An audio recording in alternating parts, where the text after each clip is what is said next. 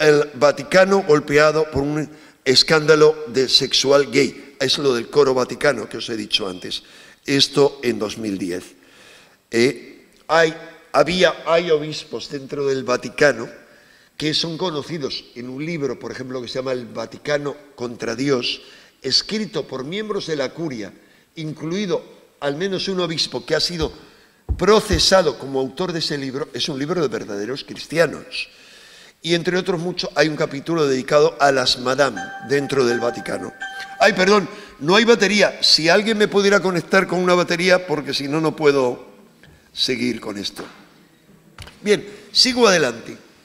Ah, lo importante es que dentro de toda esa trama, de repente, en marzo del 2011, es 2012, ah, perdón, en ese año crucial, es elegido, como os dije, un papa excepcional. Ya, ya está, ¿no?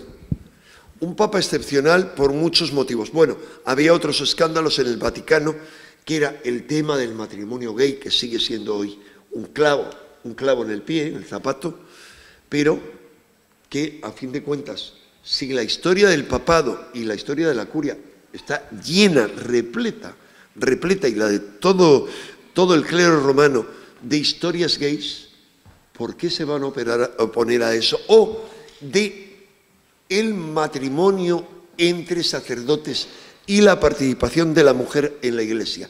Mientras que la participación de la mujer en la iglesia, que tocaremos en cuarto milenio, debatiremos, será un debate duro con el doctor Antonio Piñero, eh, sí, desde el siglo II la mujer fue excluida como diaconisa y como obispa, como jefa de comunidad, en la iglesia de Magdalena, por ejemplo, de la que, habla, de la que hablan documentos del siglo II.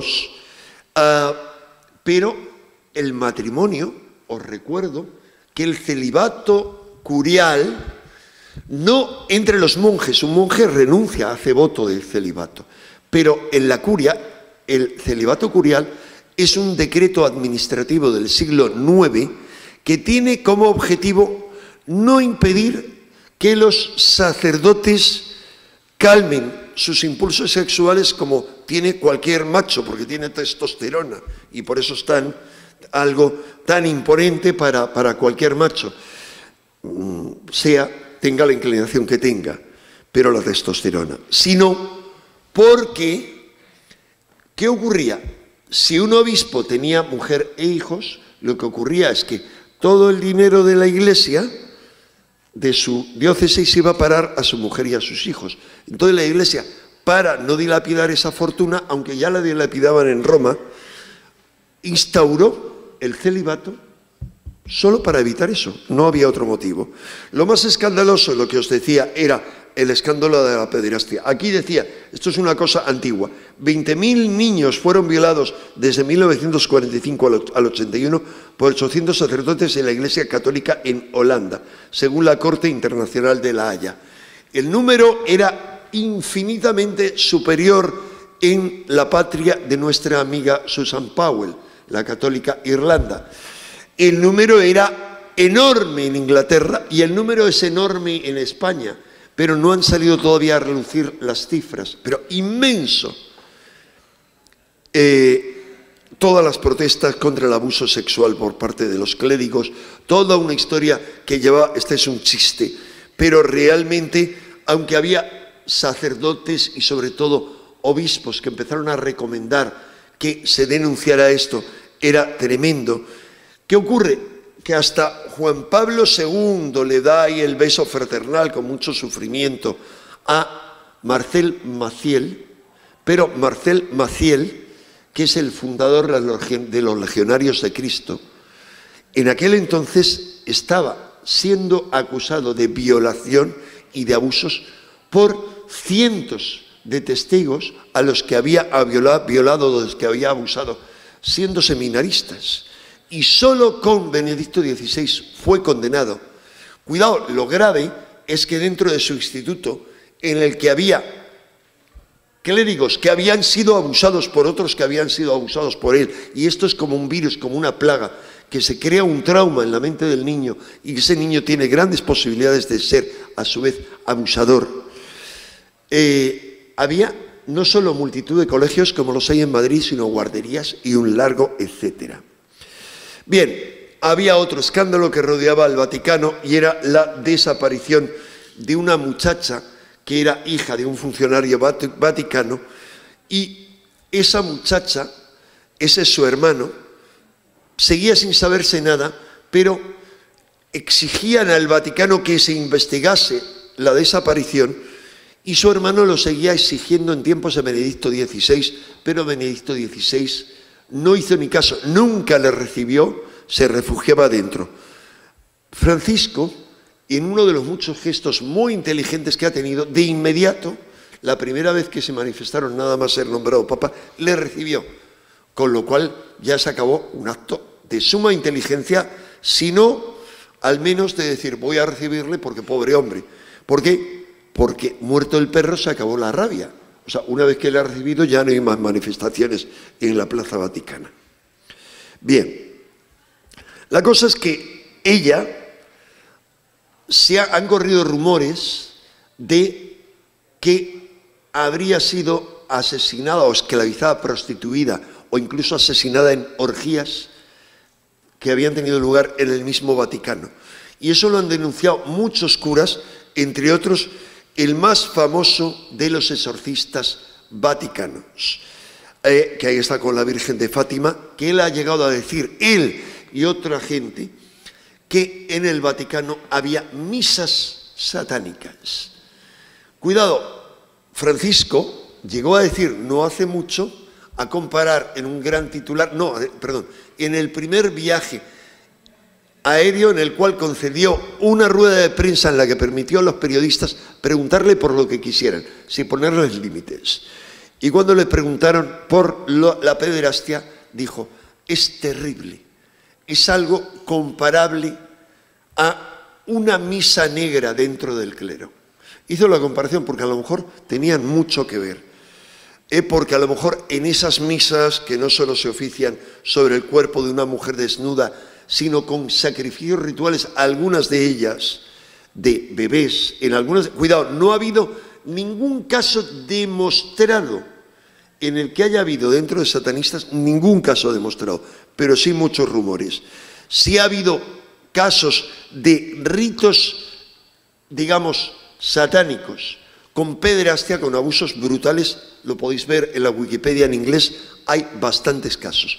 En uno de ellos en el cual un sacerdote fue condenado y tuvo que pagar la iglesia a los afectados, a las familias y, los afectados, porque había hecho abusos durante rituales satánicos. Es decir, no es un mito, al menos hay un caso que ha ido a juicio.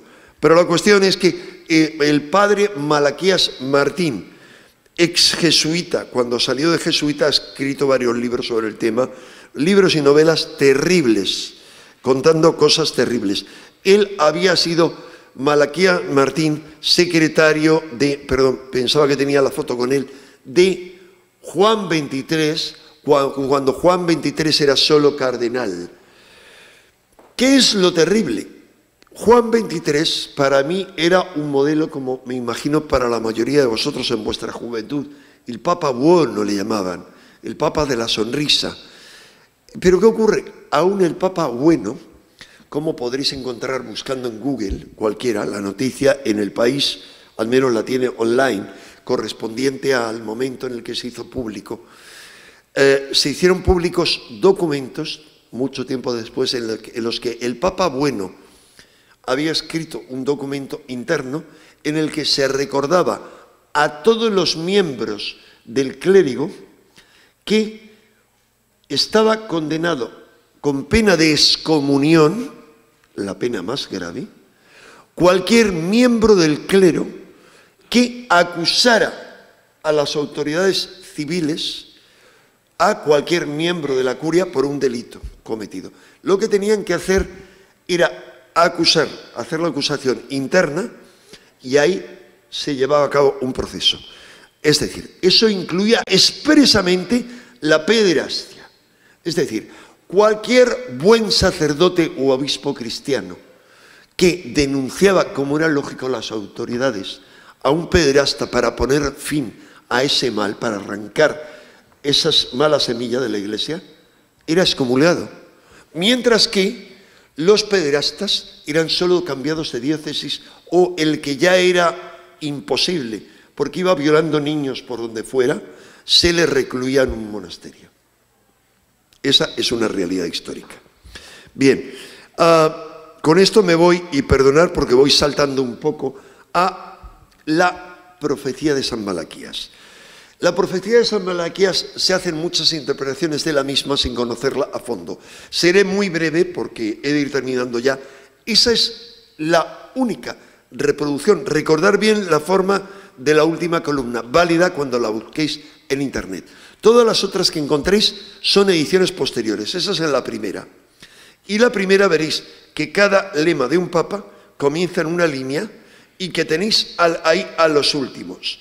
¿Quién es pastor Fides Intrépida, pastor Angélicos? Fides Intrépida es el papa, creo que es Pío XI, creo, es que no lo sé muy bien, durante la ah, eh, antes religión despoblada es el papa que corresponde a la Primera Guerra Mundial, en la cual efectivamente la religión, la cristiandad, quedó despoblada. No ha habido mayor matanza en toda la historia en porcentaje, no ya en millones de muertos, en porcentaje de la cristiandad muerta mayor que la de la Primera Guerra Mundial. Pío XII, al que se le llamaba además así el pastor angélico pero había otra serie de símbolos. Pastor en Nauta, luego vamos a ver, es Juan 23 y vamos a ver por qué. Flos, florum espío, eh, es eh, pastor angélico, os lo digo, y lo vais a ver luego en su símbolo. Juan 23 era pastor como papa y nauta, navegante, porque era arzobispo, perdón, cardenal, y tiene otro nombre que no recuerdo ahora cómo, cómo es el nombre, de Venecia patriarca de Venecia, al igual que lo fue su santidad Juan Pablo I mártir. También lo era. Entonces los dos en la casulla tienen claramente las naves de Venecia como símbolo, pastor y navegante. Y él tenía en su símbolo la oveja y también el barco. Flos florum era Pío, Pablo VI, que tenía como escudo antes de ser papa el escudo de cardenal era la flor de lis, que es la flor de las flores desde tiempos de la casa de David. De medietate lune era, ¿quién? Albino Luciani. Albino Luciani, luz blanca, un símbolo de la luna, ¿verdad? Pero resulta que él era de la diócesis, era el, el cardenal de la diócesis de Beluno, más claro, el agua. Aparte, había durado poco más que un mes lunar. Gloria Olive, de la Gloria del Olivo. Yo pensaba, cuando en dos programas de TNT, en Telecinco, hicimos debates sobre cuando se estaba muriendo Juan Pablo II, ah, cada uno hacíamos una apuesta y yo aposté no por Benedicto, por Ratzinger, sino por quien cumplía a rajatabla eso y para mí hubiera sido un papa excelente, el primer papa jesuita que era Carlo María Martini. ¿Por qué? Porque Carlo María Martini, intelectual del más alto nivel, que tiene un libro de sus conversaciones con Humberto Eco, en la que habla un agnóstico y un creyente, eh, él era el único cardenal que había fijado su residencia en Jerusalén al pie del Monte de los Olivos y había ya comprado una tumba al, monte, al pie del Monte de los Olivos, que en el valle de Getsemaní. Es decir, era claramente de la gloria del olivo. Bueno, pues no, me equivoqué. Ahora me equivoqué por los pelos. ¿Por qué? Porque el Espíritu Santo probablemente no se equivocó, pero los cardenales sí. Porque la votación estuvo terriblemente reñida y tenían mismo número de votos Ratzinger y él. Eso mirarlo en la Wikipedia en ese conclave y lo veréis. Pero ¿Cuál era el asunto? Él, al ver eso, en la primera votación, dijo, él tenía Alzheimer, un hombre que era el intelecto en estado puro, un hombre de dos metros de altura, con amistades a cualquier nivel, o sea, el gran diplomático que necesitaba la iglesia y el hombre de una fortaleza, pero él sabía que tenía Alzheimer. Así que él dijo, no me votéis a mí, mis votos para Jorge María Bergoglio. Y entonces sus votos, ya en minoría, fueron a parar. Estoy hablando del conclave de Benedicto XVI a Jorge María Bergoglio, que fue el que sacó el segundo cardenal con más votos después de Joseph Ratzinger. Es decir, estaba cantado que iba a ser el próximo papa. La cuestión es que después de él, veréis que no hay un lema, se dice, ya solo este es el último papa. No, porque si yo leo esa lista, dice, en persecutione extrema, sacra romana ecclesia sedevit. ¿Qué significa en persecutione punto extrema? Se dice, en la persecución, persecutione extrema, porque punto es abreviatura, o puede ser in prosecutione, es decir, en la continuación extrema de todo lo que hay anteriormente, se sentaba en la sacra, romana eclesia. ¿Qué estoy diciendo con esto? Es un enigma. O sea, ¿es el último papa? No. Eh, no sabemos qué es, es un enigma, pero sí sabemos que a continuación no hay un lema. Tal como yo interpreto eso, este corresponde, por razones que se me escapa, a este papa. Eh, en persecución o en la continuación. Pero hay otro después, que es Pedro Romano, que pacía que pace, apacienta sus ovejas, que paset oves, en múltiples tribulaciones, en medio de múltiples tribulaciones, quibus transitis civitas septiculis, eh, transitando a diruetor, que en medio de, estos, de estas tribulaciones, de este tránsito, dirigía la ciudad de las siete colinas, Roma. An judes tremendus judicavit populum sum. Ah, y el juez tremendo juzgará a su pueblo. Finis. ¿Cómo podemos interpretar esto? Primero, claramente, si le damos valor a la lista de San Malaquías, que ningún historiador ni racionalista le da valor, yo simplemente me limito a analizar un montón de... No todas cuadran con el personaje, pero analizo un montón, podríamos ver muchas más y podríamos dar una conferencia solo en eso y os enseñaría cómo tiene una estructura perfecta la profecía, cómo en medio del tiempo histórico que dura la profecía dice claramente, se llama eso, immediatate signi, es el Papa que corresponde a la mitad. Y os explicaría cómo es imposible saber, eh, esto se publica por primera vez en 1580 y tanto, se hace público. Entonces era imposible saber que iba a corresponder en el tiempo a la época de Napoleón, cuando Napoleón secuestra un papa y lo lleva a Roma para que asista con pasmarote a su autocoronación, le quita, le dice, aquí está la corona. Y el papa, muy cauto él, muy ingenuo, eh, cree que va a pedirle que le corone. Y dice, no, yo soy el emperador y tú eres un súbdito mío. Coge la corona, se la coloca a él y a Josefina. Napoleón el símbolo era el águila, el águila y la estrella, eran sus dos símbolos. Y resulta que ese papa se llama Águila Rapax, águila rapaz, el águila rapaz que coge a las presas y las secuestra. Bien, con esto os diré, primero, eso significa el fin de la iglesia del cristianismo, no, de la iglesia de Roma, uno, del Vaticano, concebido como iglesia de Roma que dirige todo.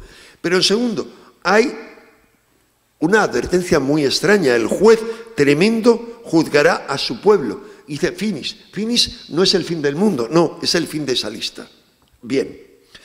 Eh, este es San Malaquías, obispo, como sabe muy bien Susan Powell de Armagh, lo pronunciaré muy mal, gran personaje después de San Patrick, de San Patricio, eh, de la iglesia celta, que la iglesia celta comienza en Irlanda y luego se extiende al norte de, Gran de, la iglesia de la, de la isla de Bretaña y va descendiendo.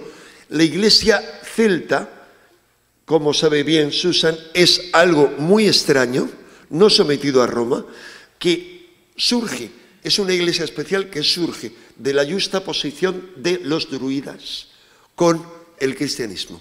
Hay un montón de cosas entre las druidas, profecías, etcétera, que les hace entender que ha llegado el momento, que esperaban y se fusionan con el cristianismo. Y todos los santos, los grandes santos druidas, perdón, los santos irlandeses, y luego de la iglesia celta, también pasan a Inglaterra, son grandes druidas que abren y cierran puertas con el otro mundo. San Patrick, San Patricio, es el primero que habla del otro mundo, de una visión del, mundo, del otro mundo, es el primero al que se atribuye la idea del purgatorio, por eso se dice el purgatorio de San de San Patricio.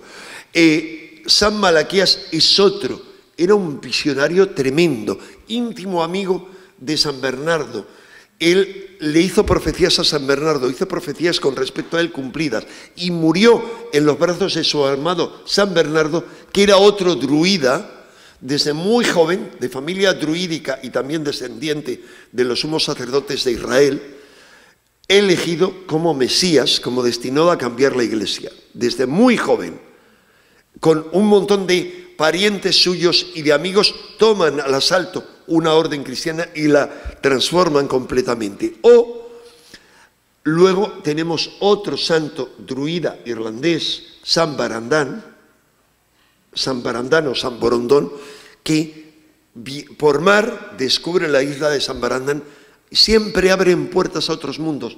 O como el santo que ahora no recuerdo quién es el primero al que se atribuye una relación con el monstruo del lago Ness, que no recuerdo ahora cómo, cómo se llama, eh, y que él ve al monstruo del lago Ness que devora a un monje, pero él le para, le bendice y el monstruo del lago Ness a partir de ese momento es un aliado mucho. ¿Qué es el monstruo del lago Ness? Es una criatura de otra realidad, por eso, como tantos otros, no se encuentra, que hacen su aparición a través de puertas interdimensionales. Pero bien, la cuestión es que aquí tenemos la lista de San Malaquías, que antes la he resumido, no me voy a parar más en el simbolismo de cada uno. Mi creencia de que podía ser Bertoni, estos son fotos de una conferencia anterior en la que por diferentes razones se decía, la gente decía que iba a ser Bertoni, que iba a ser este cardenal, el primer cardenal negro, o hubo gente que dijo que el último papa iba a ser el bello George, el bello George era el asistente de Ratzinger desde que Ratzinger era obispo y que fue su asistente cuando él era el jefe de la Santa Inquisición. Ahí tenemos, cuidado, ¿qué relación existe entre Bertone y Ratzinger? Toda. Cuando Ratzinger era jefe del Santo Oficio, Bertone era su secretario. ¿Por qué tiene interés esto que ver con Fátima? Y ya voy a ello. Porque quienes se van a encargar de revelar el secreto de Fátima es, siendo jefe del santo oficio, que es quien tiene el secreto atrapado, él, Bertone es el que se encarga de la desclasificación, de mantener una conversación secreta con Sor Lucía, que no puede comunicarse con nadie y nos cuenta luego una milonga que no tiene que ver con los hechos. Oye, es tan simple. Mantienes una conversación con Sor Lucía acerca del secreto, etcétera, grábala y la pública. O graba algunos fragmentos al, menos. No.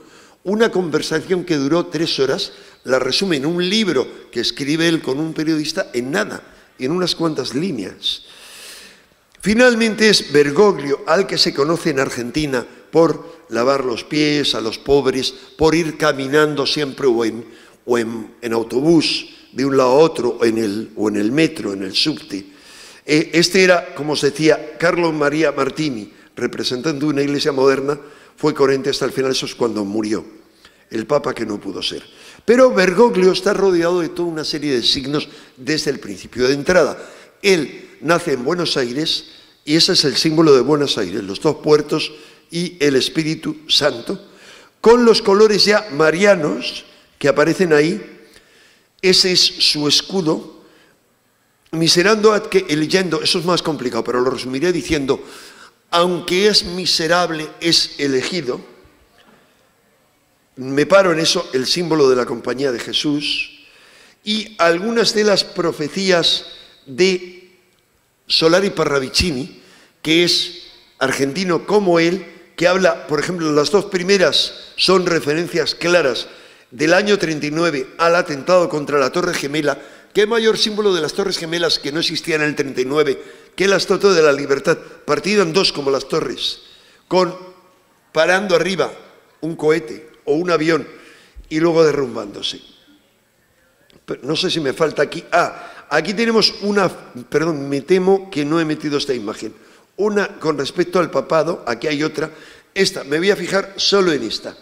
Ahí son profecías referentes al Papa que viene. Dice, viene la paz, Pax viene.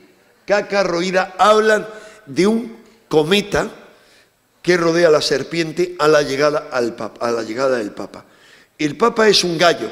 No voy a pararme, no hay tiempo, solo analizar el simbolismo.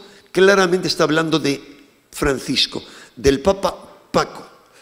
Paco no es llamar, digamos, casi en broma, tomarme confianza. No, Paco, el nombre Paco, el apócope Paco, viene del primer gran Francisco del que toma su nombre este Papa, San Francisco de Asís, que era el Paco, el Pater Comunitatis, de ahí viene, el padre de la comunidad. Y dice, eh, piano, Pietro, Roma, o sea, le llama ya Pedro, Yoma estará falta de nombres. Eh, el báculo descansará. Bueno, sería largo explicar esto, cómo se corresponde perfectamente a él. Y luego vemos al final la figura del Papa atravesada por flechas y vemos ahí Argentina. Ojo, Argentina era la patria de, de eh, Parravicini, pero es que hay un montón de imágenes claramente en las que anude a un papa argentino. Parravicini en el año 39. Claramente, Argentina y se ve en Argentina y se ve el papa móvil, como veis, con sus ruedas y eh, como tocando la guitarra. Y dice claramente, Pío XII, Pío XVI va enumerando a los papas en el papa móvil. Bueno, este es el escudo de Argentina sabéis que los, los símbolos del escudo mariano son el azul y el blanco. No olvidéis que él se llama Jorge María, Jorge Mario, Jorge María Bergoglio. Eh, este es el escudo de la ciudad de Buenos Aires. Iba a ir mucho más allá. Bueno, es sumamente interesante. He tenido que pegar aquí un corte para saltar ya en los últimos 5 10 minutos a las apariciones de Fátima. Las apariciones de Fátima son un hecho realmente misterioso. La imagen de lo que vieron los niños, estos niños no fue eso, al igual que los niños no era la imagen ideal. Estos eran los niños, con pinta de niños brutitos, como correspondía a aquella época.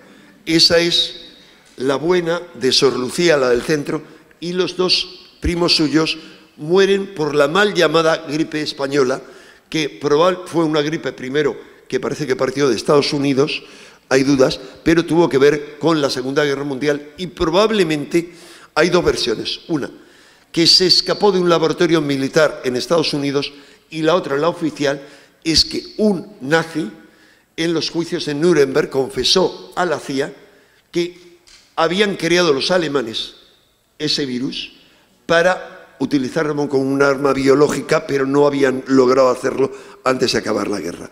Pero bueno, lo importante es que lo que ven los niños, según la descripción, los documentos de la época, se corresponde a esto. No a una virgen, esa es la descripción más exacta.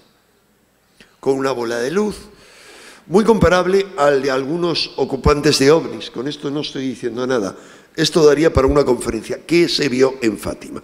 Lo importante es que Sor Lucía, a partir del año cuarenta y tantos, no antes, hasta ese año es como una doña nadie, una niña que va pasando de un convento a otro, se la tiene en clausura constantemente y ya no lo pide, se la mantiene aislada para que no cuente a nadie nada.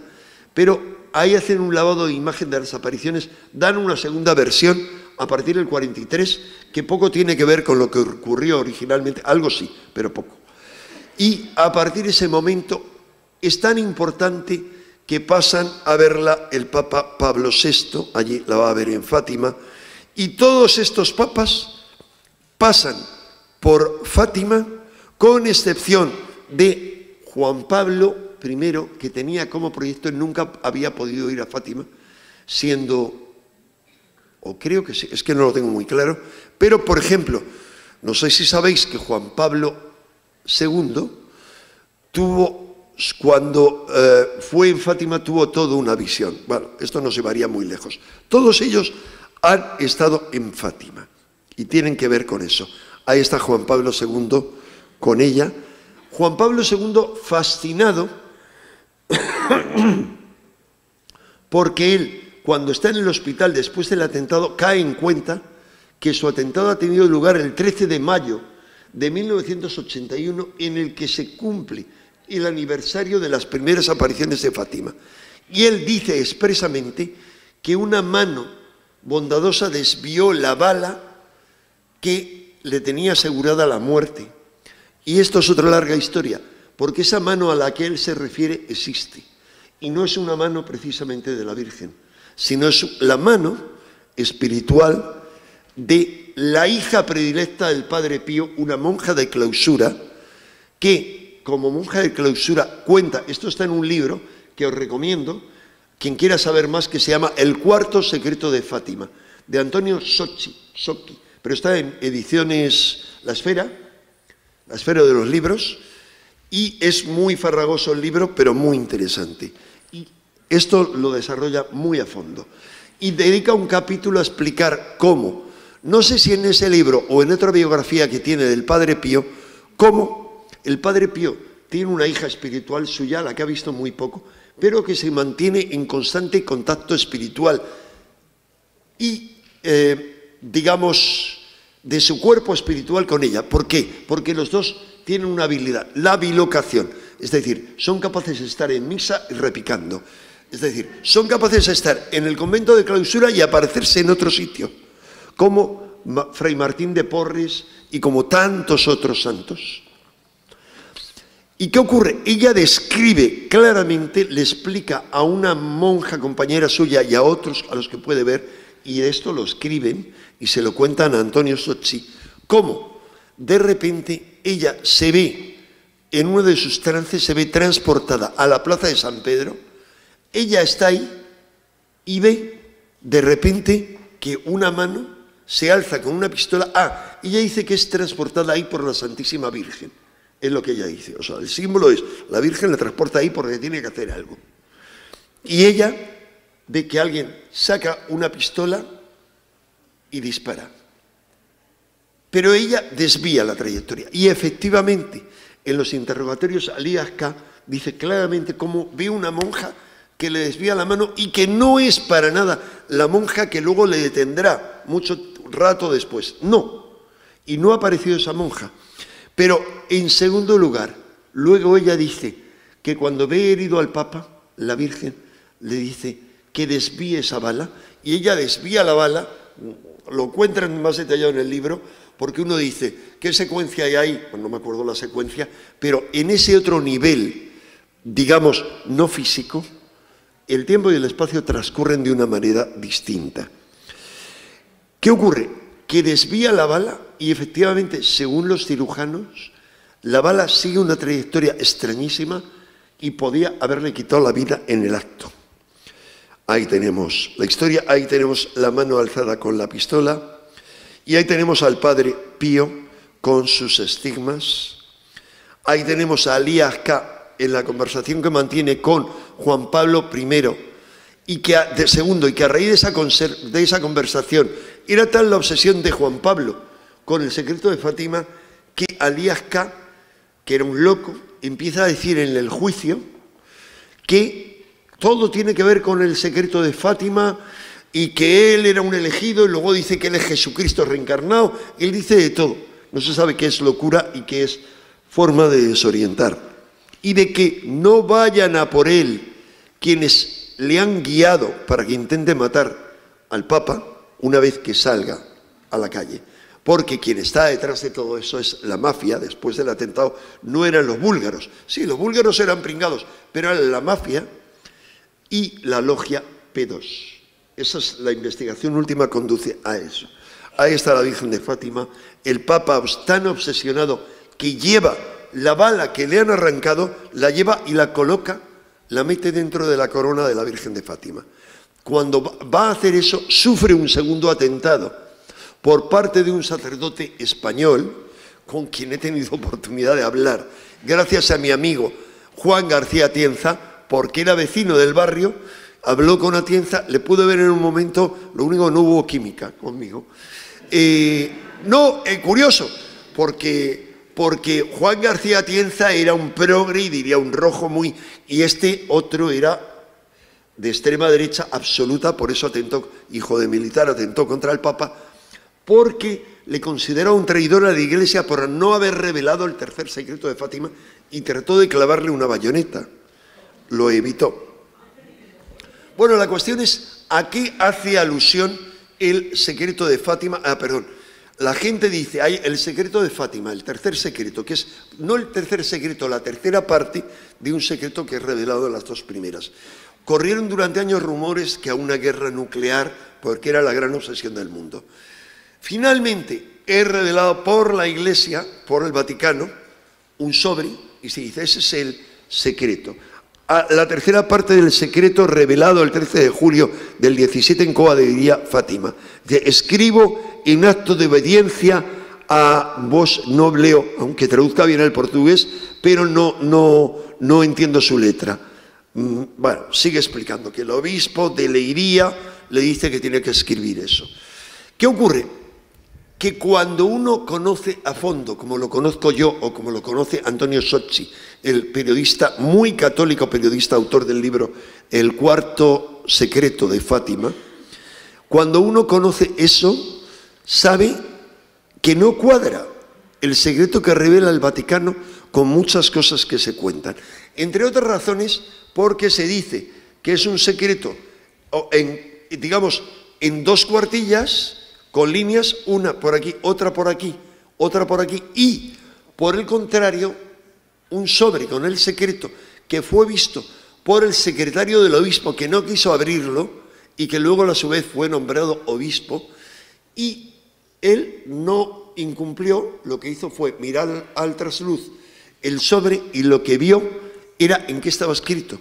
Estaba escrito en una sola hoja por dos caras y no cuadraba para nada por esto. No eran con líneas, no cuadraban en absoluto. Había muchas cosas más que no cuadraban, pero sobre todo algo básico. Y es, en ese secreto hablan de una visión que tienen y que se puede interpretar de muchas maneras. Pero nunca dice, la Virgen nos dijo tal cosa. Por el contrario, constantemente con sus primos le están diciendo, ¿y qué te dijo la Virgen? Y ese es el Papa del que habla la Virgen. O sea, hay una visión y un mensaje. la visión es una montaña la que se describe ahí, donde dice penitencia, penitencia, penitencia, y el obispo de Roma, el obispo vestido de blanco, dice que solo el Papa está vestido de blanco sube arriba y hay, hay soldados que disparan flechas y, balas contra él. Y luego hacen una masacre de sacerdotes. Cualquier interpretación de lo que le ocurrió a Juan Pablo II con esto es absurda. Es más, Sochi demuestra en su libro que en ningún momento Juan Pablo identifica eso, para nada. Dice, ha empezado a realizarse con lo que me ha ocurrido a mí, el secreto. Pero Ah, para nada se refiere a un secreto futuro. Este es el, obispo de Leiría con el sobre, el que no quiso abrirlo. Perdón, porque he mezclado aquí demasiadas cosas. Y ahí está Bertoni con ella cuando está en la interpretación. Cuidado, este es un texto, se han hecho análisis grafológicos y se ha discutido incluso que correspondiera a Lucía esa letra. Ese es el libro de Sochi, el cuarto secreto de Fátima. Y Sochi, que había sido muy amigo de Bertoni, a raíz del tema del secreto de Fátima, entra en clara competencia con él y le desafía. Primero le ruega que mantenga un coloquio privado con él. No quiere Bertoni. Luego le desafía públicamente a ir a una televisión, a donde quiera, Finalmente tiene que ir él por su lado y Bertoni por el suyo desmintiendo, pero nunca. Y le dice, querido cardenal Bertone, ¿quién entre tú y yo está mintiendo deliberadamente? cualquiera que se lea el libro verá que quien miente es Bertone, sin discusión posible. Ahora, hay algo, no miente en cuanto a que ese sea un sobre auténtico, sino en cuanto a otra cosa. Había dos sobres. Cuando uno sigue toda la trama del secreto, resulta que en dos momentos se le pide que escriba a Lucía y escribe dos partes. En un sobre escribe una visión y en otra escribe las palabras. ¿Cómo se sabe eso? Se sabe de una forma muy simple, a través del secretario personal, cuando es papa, de Juan 23, que es este señor cuando era luego ya eh, arzobispo y estaba retirado, al que entrevista Sochi, y es muy interesante todo lo que cuentan. Ahí le tienen, es este hombre de, gafas, joven, eh, era obispo. ¿Por qué él sabe perfectamente dónde está el, y por qué Sochi le va a preguntar? Muy simple. Porque cuando Pablo VI llega a Papa, este pide, quiero ver el secreto de Fátima, y nadie tiene ni idea dónde está. ¿Y qué tienen que hacer? Tienen que llamar a este hombre que ha estado presente en el momento en que Juan 23 abre el sobre en presencia de un obispo de Fátima y de otros, necesita que esté el obispo de Fátima presente porque él no sabe portugués y necesita que se lo traduzca literalmente. Así que, con respecto a lo que dice el secreto, lo saben el obispo de Fátima, el secretario y el papa, entre otros. Dato interesante, ¿por qué? Porque cuando yo escribí artículos en año cero contando que el secreto que sabía que era, había ahí toda una mentira y luego otro con respecto a, a masones en la curia, un el jefe de los cruzados de Fátima o alguna cosa así de una de estas organizaciones, vino, habló conmigo, que era fascinante, dos veces nos vimos y otra para pedirme ejemplares para el obispo de Fátima, el obispo de no sé qué y el de no sé cuántos. Y me dijo que confirmaban, que no lo podían hacer oficialmente, confirmaban todo lo que decía. Es decir, quienes estaban al tanto decían, pero qué tomadura de pelo es esta. La cuestión es que él sabe que lo mete en esa caja que aparece ahí en, esa foto de Paris Match, secretos del Santo Oficio. O sea, de ahí lo saca.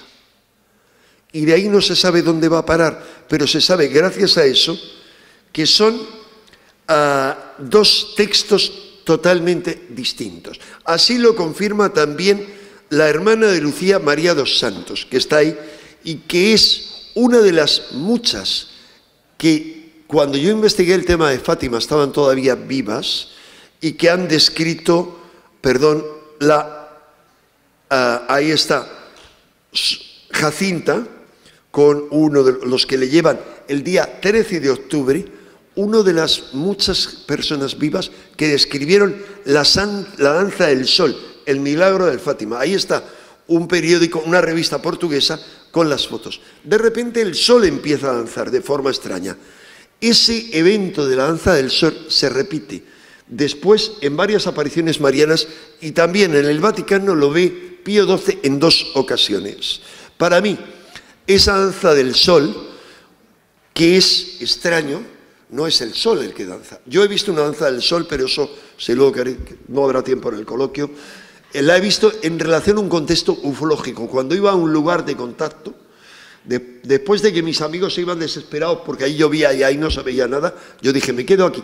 Y en ese momento el sol empezó a danzar y no había discusión posible porque yo pregunté, o sea, hice todo tipo de pruebas. O sea, el sol bailaba, no era el sol, obviamente, era un ovni o lo que fuera que había detrás del sol, pero que tenía el suelo de amarillo. Yo no solo preguntaba, eh, sino con un magnetofón que tenían, yo, estamos hablando de los años 80, tenía una novia francesa que era profesora de francés en Salamanca y que pasaba del tema, la pobre estaba machacada que había venido para el viaje, y le digo en francés, ¿qué es que vois, Patricia? Y me dice, ¿eh? no sé qué me dice. Digo, a ver, ¿qué color? ¿Qué estás viendo? Me dice, amarillo. Claramente.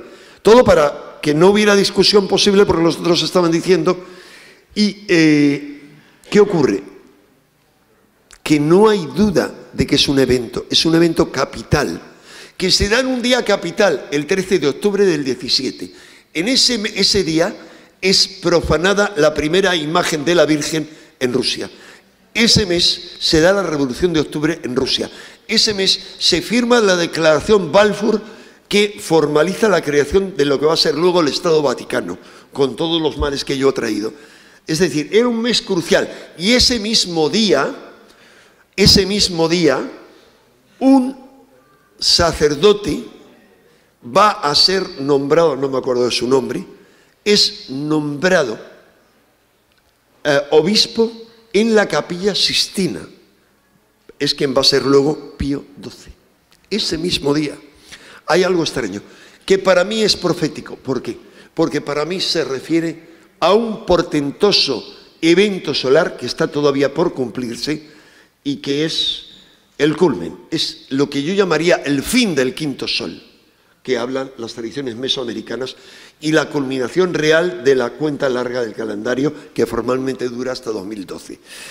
Será un evento crucial, será un evento como que el sol hará, eh, el fin del quinto sol es una gran expansión, como un gran flash, que Dios quiera que no nos pille en el camino, es decir, que no haya una eyección de masa coronal que sea geoefectiva, pero en cualquier caso lo más probable es que afecte a todo el instrumental eléctrico de alguna parte de la Tierra, y luego el Sol se contraerá. Creo que es a eso, y no a otra cosa a lo que se refieren el llamado o el milagro o el anuncio de Garabandal y otras apariciones marianas. Un evento solar. Bien, pero se ha hablado de que el milagro de Fátima se refería a destrucciones. No. A los estudiosos del milagro de Fátima, como Sochi y como otro monje que dedica tres volúmenes al tema en francés, se refiere claramente, por todas las pistas que tenemos, a que anuncia una gran corrupción dentro de la iglesia, como que el mal, el humo del diablo, como va a decir uno de los papas, ha entrado en la iglesia. Ya he descrito cómo. Ya hay que acabar. Vale, perfecto. Me dicen en los últimos cinco minutos. La barca de San Pedro, como dicen varios santos en sus visiones, está en una marejada como nunca antes ha tenido. Hay muchas profecías que hablan de una destrucción, muchas, incluidas visiones de Papa, que ven Roma ardiendo. Hay algo muy interesante. Veían que el último Papa se llama Pedro Romano Bien, hay una profecía generalizada en todo Occidente que es que en cada país, en cada nación, el nombre del primer rey será el último. Por eso jamás han puesto en Inglaterra a un rey el nombre de Arturo, porque saben que será el último. Por eso, afortunadamente, Leticia no tuvo ningún hijo, y si hubiera tenido un hijo ya la advirtieron de inmediato, ella dijo, si tendré un hijo, le llamaré Pelayo. De inmediato surgieron los, los oh, fundamentalistas monárquicos diciendo, ¡qué locura! Pelayo ha sido el primer rey y será también el último. Es más, de hecho fue el último rey antes, digamos, de la supuesta invasión musulmana, que, que era más bien una guerra civil entre trinitarios y monistas, adoradores del Dios único y de la Trinidad, los trinitarios eran los que estaban en el poder y los otros godos habían sido, digamos, eh, echados abajo y los musulmanes se unieron a los, a los monistas. Pero la cuestión es que se habla de una guerra atómica, no sabemos absolutamente nada. Lo interesante es que ha habido muchos personajes cada vez más apocalípticos como Ahmadinejad, que estaba no solo firmemente convencido de que el Mahdi estaba ya a punto de llegar, él había cambiado su apellido para tener el nombre del Magdi y creó una avenida y un tren para que el Magdi viniera a Teherán, dijo que el Magdi se le manifestaba en la ONU y habló en la ONU dos veces el Magdi. Y las profecías del Magdi es que el Magdi es este, de verde, que combatirá al anticristo. Es decir, ¿Quién es el anticristo para ellos? El, y ayudando a Jesús. El anticristo, según esas profecías y las cristianas, es el nuevo orden mundial. Ese orden mundial que trata de convertirnos en robots, que trata de lograr el control mental, que ha pretendido, como ha pretendido la reforma Obama, implantarnos un chip a cada uno, con lo cual seríamos más que robots. O sea, estaríamos en manos para vida y muerte, llevaríamos la marca del anticristo realmente en nuestro cuerpo. Esa la marca el chip RFID. Eh, el orden mundial con sus guardianes y sus, dice, creadores, no son los creadores, son los protectores, el nuevo orden mundial, con sus armas. Esto es lo que intentan implantar. Ellos han creado guerras, como todo lo que está ocurriendo en el mundo islámico, han creado la guerra, han lavado el cerebro a muchísimos musulmanes y han hecho enfrentarse hermano contra hermano a muerte a sunís con chiís, han creado una guerra con los más antiislámicos que hay, como los que han tomado las ciudades santas de la Meca y Medina, es decir, los individuos súper ricos de Arabia Saudí, y de algún otro país ajeno, que son los que han financiado el Estado Islámico y los que financian a la aparte de la resistencia contra, eh, contra Assad, que Assad será muy dictador, pero es nuestro dictador. Al igual que Gaddafi sería muy dictador, era nuestro dictador. Saddam Hussein era nuestro dictador. A Saddam Hussein Claro que tenía armas de, destrucción masiva, las que les habían dado los americanos para que acabara con los iraníes, con el ayatolá. Pero luego se había deshecho ellas. Acabo ya. Os decía con esto es que todo es una gran mentira. El sol será el único que nos saque de esa gran mentira. Esto es en lo que se basa el calendario maya y solo hay que confiar en nosotros mismos, en convertirnos en verdaderos guerreros de Gaia y surfear la ola del cambio. ¿Por qué? Porque de nuestro salto, de que hagamos la revolución psíquica, que es la única revolución posible, va a depender que la nueva generación de niños mutantes, que son quienes van a llevar a cabo el verdadero cambio, sobreviva y no sean masacrados, como están empezando a serlo, por ese nuevo orden mundial que no quiere que nada cambie aquí. Esa es la gran esperanza de la Tierra y no olvidemos nunca que la gran revolución es la que se lleva a cabo dentro de nosotros. No olvidemos en los próximos años, os diré, en los próximos cuatro años, que serán cruciales hasta extremos inimaginables, que cualquier acontecimiento que haya fuera, cualquier lucha que haya fuera, no se está librando fuera, sino dentro de vosotros, al igual que en otros planos que es una lucha entre el bien y el mal dentro de nosotros, entre el sueño y el despertar, entre la evolución y la regresión, entre la luz y la oscuridad. Por tanto, lo único que importa es sentir el ser inmortal, trascendente e inapresable que hay dentro de nosotros y despertarle. Gracias.